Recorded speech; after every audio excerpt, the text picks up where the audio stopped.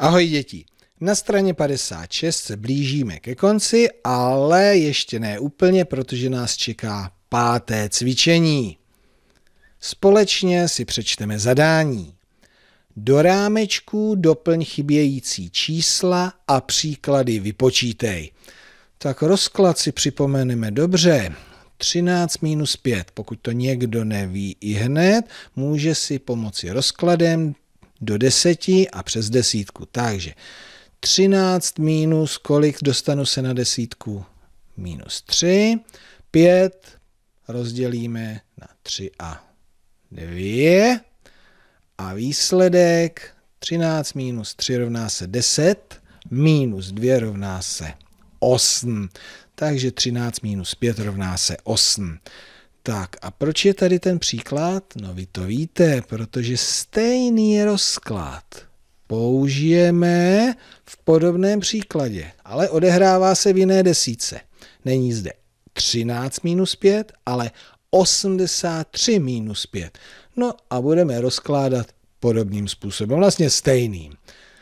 Ale dostáváme se ne k desíce, ale k 80. Takže minus 3 minus 2, ano, pětku jsme takhle rozdělili, rozložili, no a výsledek, takže pozor tady, 83 minus 3 rovná se 80 minus 2 rovná se, ano, děkuji, 78.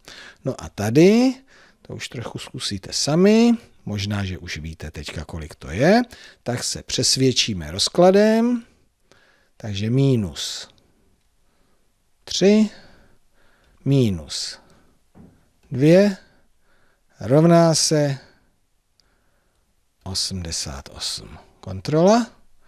Výborně, takže teďka jsme si to připomněli ty rozklady společně, tak upevníme přes interaktivní cvičení. Tady je rozklad a ten vypočítejte, no a potom mě řeknete, ke kterému příkladu ten rozklad patří. Takže jedeme 73 minus 3 minus 2. Mhm. 73 minus 5 rovná se 68. Jedeme dál. Rozklad, vypočítat. Mhm. Kolik? 77.